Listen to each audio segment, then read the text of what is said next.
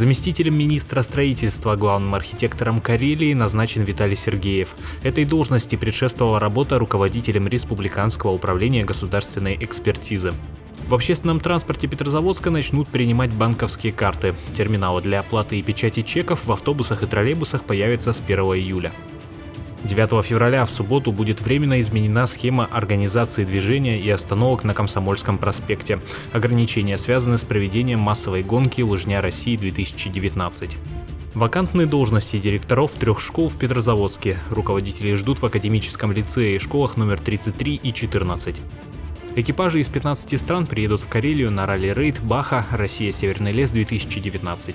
Гонки пройдут с 14 по 17 февраля. Республика примет соревнования в пятый раз.